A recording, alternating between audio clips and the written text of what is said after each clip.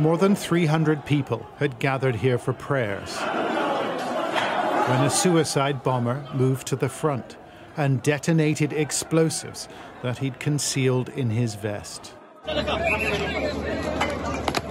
He brought down the walls of the mosque in a neighborhood called Police Lines, killing dozens in the blast.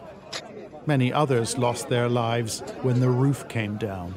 An unknown number are still trapped in the rubble.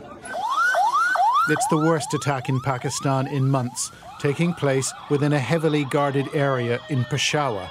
Key government ministries are located nearby. And it was also effective. The authorities say more than 170 sustained injuries. The imam started prayers and a huge blast happened, said this police officer. The roof and walls started collapsing on us. With thanks to God, I survived.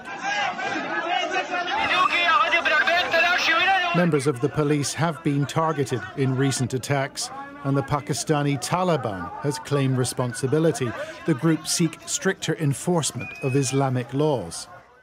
The country's Prime Minister, Shahbaz Sharif, seen here visiting victims of the blast, has vowed stern action.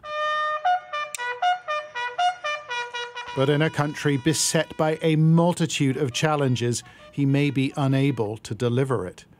John Sparks, Sky News.